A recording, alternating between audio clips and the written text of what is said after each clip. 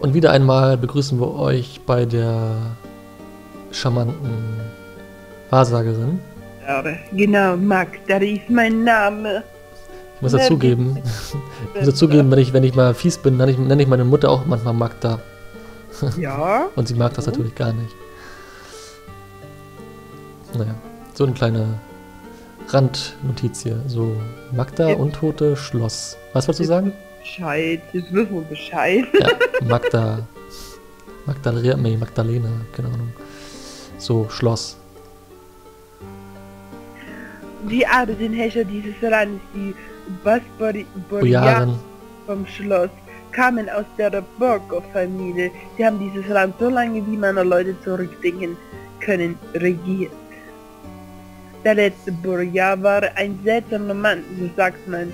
Ich weiß nicht, was aus ihm wurde, nur dass sein Sohn das Tari in Schande und Schrecken verlegt.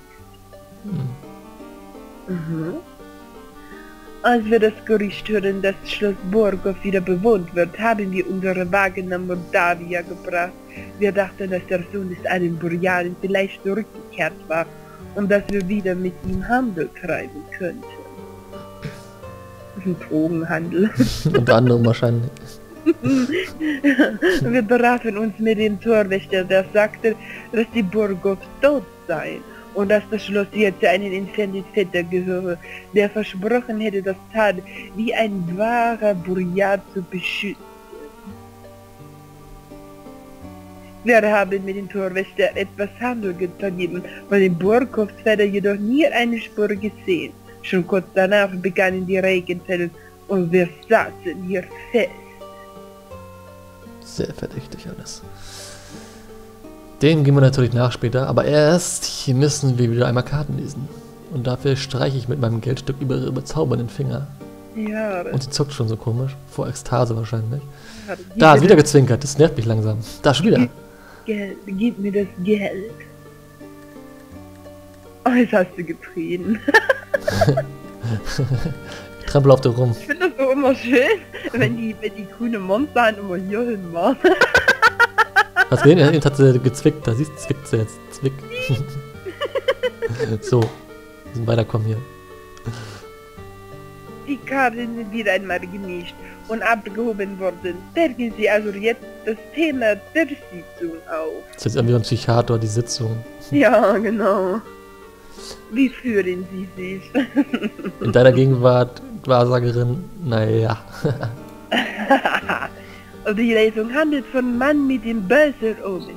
Wir werden mehr über seine Vergangenheit und darüber, was er vorhat, erfahren. Ah, Die nächste Karte, die Sie aufdecken, wird Ihnen die Vergangenheit zeigen. okay. Mhm. Schon wieder. Königin Papa. Ja.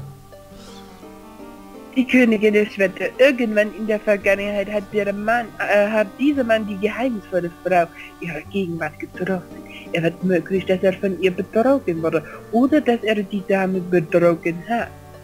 Mhm.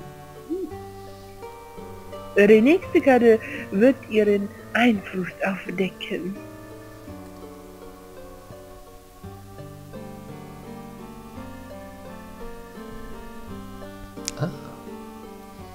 Are, der Magier, die geheimnisvolle Frau verfügt über Magie. Einer ist der Lehrer des anderen. Die Reihenfolge der Karte lässt darauf schließen, dass die Frau die Meisterin war und der Mann ihr Schüler aha, das ergibt Sinn. Okay. oder auch Sklave. Hm. Die Lustsklave. überstehen haben ihren Ursprung offensichtlich in der dunklen Vergangenheit.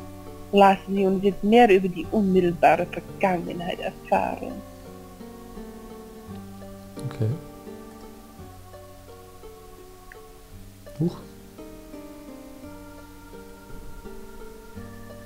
Ah, dies ist Ihr persönlicher Einfluss auf diesen Mann. Es scheint, Sie sind für sein Leben so bedeutungsvoll wie er für Ihre ihrige. Lassen Sie uns sehen, was Sie ihn beeinflusst haben. Wenn man jetzt die folgenden Teile gespielt hätte, wüsste man wahrscheinlich sogar, worum es geht. Über wen's, wer hier überhaupt der Erzfeind ist, wer die Frau ist. Und, also ich kann es mir schon zusammenreimen, aber ich darf es ja leider nicht sagen, aber das werden wir alle sehen. Mhm.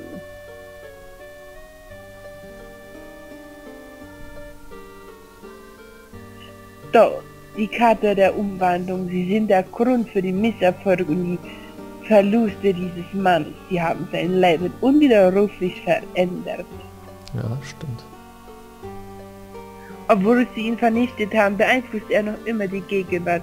Dass diese Karte Informationen über ihn bereits gegeben hat, beweist, dass er erneut ein Spieler in ihrem Leben des Lebens ist. Mhm. Und spielt Leben. Was können wir als nächstes lernen? Ja.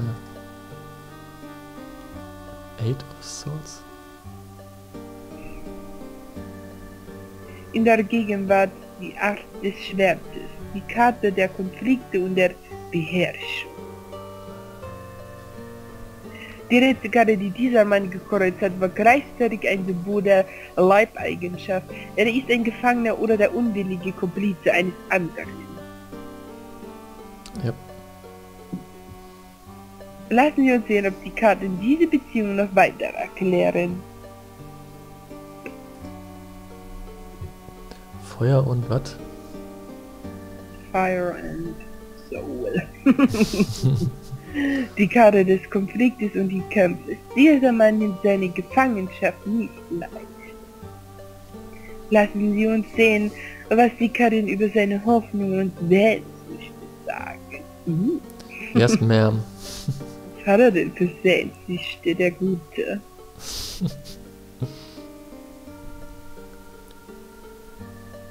Der Triumphwagen repräsentiert Triumph und Rache. Es gibt ein starkes Verlangen, die Kontrolle über die Situation über sein Leben zu gewinnen. Er könne die Frucht ergreifen, aber das ist nicht genug. Lasst uns sehen, auf welchem Weg er triumphieren könnte. Okay. Der Teufel. Schon wieder böse. Ja. Diesmal ist der Teufel umgedreht, die Bedeutungen mögen sich unterscheiden, aber egal wie sie die, diese Karte verheißt, nicht Gutes. Es ist eindeutig, dass ihr Mann, dass ihr Mann nach der Freiheit strebt, aber mit dieser Freiheit wird er auch die Rache bekommen. Was oder wer immer ihn jetzt. Was, was oder wer auch immer ihn jetzt. Das bist du ja. Hä? Hä? Was oder wer auch immer ihn jetzt findet, kann ihn nicht für immer zurückhalten. Er wird nach seiner Rache streben, sie müssen auf der Hut sein. Sie werden ihm seinen Kampf auf Leben und Tod gegenüberstehen. Lassen Sie uns jetzt die Karte aufdecken, die über die Vergangenheit und Gegenwart herrscht. Ich war von dem großen Buchstaben irritiert. Ja, ich Deswegen auch. dachte ich, das wäre jetzt wieder Erzähler. So. Oh. Die dunkle Karte des Nichts. Der Einfluss der dunklen Fürstin überschattet alles. Es darf nichts mehr weiter gezeigt werden. Noch darüber gesprochen werden. Uh, die Karten haben gesprochen. Die Sitzung ist zu Ende. Da wieder gezwinkert. Die Karten haben gesprochen und das ist alles, was ich jetzt darüber sagen werde.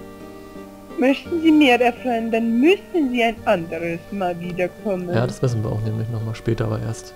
Aha. So, äh, gehen wir noch was mit der erzählen? Nö, ihm auch nicht. Wir verziehen uns jetzt hier. Ich will raus hier. Tschüss. Seit- Paul Knoblauchgestank. Die haben ja keinen Knoblauch, ne? Ja, aber irgendwas hängt da Boden. Ein totes Huhn wahrscheinlich. So. Ich speichere mal ab. Ist das in Folge 23? Ich weiß es gar nicht. Ja, Äh, wenn Folge 22 schon da ist. Ich weiß nicht mehr. So. Haben nicht mal Punkte bekommen fürs Sprechen. So ein Scheiß. Hm, wir hätten auch So. zumindest Intelligenz kriegen müssen. Ja, echt, ey. Wie spät haben wir es denn? Bestimmt einen halben Tag verquatscht den doch nicht. Jetzt müssen wir nämlich zu Rosalka. Glaube ich jedenfalls. Ähm, dazu müssen wir wieder die Karte lang latschen. Ich hoffe, wir treffen wieder keine Viecher unterwegs. Hm, musst ja sehen. Ja, der geht schon los. Aber ich verziehe mich auf den Friedhof, sodass wir sicher sind. So, Warte auf mich. Oh, oh Gott, ja jetzt ist gut. jetzt das Vieh aber weg. So. Weißt du? Da kommt wohl mal so eine extra Musik. Ja, Kampfmusik. Mhm. So eine Jagdmusik und dann, wenn man kämpft, kommt noch eine extra Kampfmusik. Mhm. Deswegen weiß man immer schon, ja, so ungefähr. So ähnlich, echt, wirklich so ähnlich, nur etwas schneller. Äh, bin ich richtig hier? Nee, hier muss ich lang. Wo bist du, Rosalga? Suche dich. Hier, hier unten ist sie. So, gleich sind wir am See. Und knie vor mir nieder. Ich mache auch den Reißverschluss auf. Ja. Oh, das sieht schön aus. Da ist sie. Uh! Mit Pamela Anderson. Wow. Hallo, Sie haben sich seit dem letzten Mal irgendwie verändert. Sie sehen stärker aus und kommen mir etwas fremd vor. Sie sehen scheiß aus. Ja, total. Schähe. Vor allem die schicken grünen Haare. Hm. Wir begrüßen die erstmal. Heiß, heiß. Hallo, was gibt's Neues? Wir reden erstmal jetzt über den Geist des Paladins, dass er uns aufgetragen hat, sie zu retten. Ein Geist hat Ihnen also gesagt, Sie sollen mir helfen? Das verstehe ich nicht. Was kümmert es ihn, ob ich hier herumschwimme oder nicht? Hat er etwas dagegen, dass ich Leute ertränke? Oder will er nur einfach der einzige Untote in Moldavia sein? Du brummst leicht. Hast du dein Kabel eben kurz rausgezogen vielleicht? Nee, ne? Nö. Hau mal richtig rein nochmal das Ding. Ja. Hast du gemacht? Brummisch noch? Ja, hast brummt. Hm.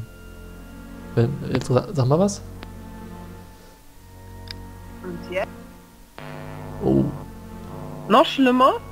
Ja, wenn immer wenn du anfängst zu reden, fängst du an zu brummen. Ich mach aber nichts. Das sagen sie immer. Ich hab nichts nicht gemacht. hier was brummen können. Egal. Ich glaub, jetzt ist glaube ich wieder weg erstmal. So. Jetzt reden wir. Der, da brummt schon, bei dem brummt in der Hose. Die sind aber eindeutig künstlich. Guck mal, so rund sind keine normalen Brüste. Ja, ne, ich hab doch gesagt, Pamela Anderson. ja mit grünen Gammelhaaren. So, jetzt den, den, den Dialog schaffen wir noch.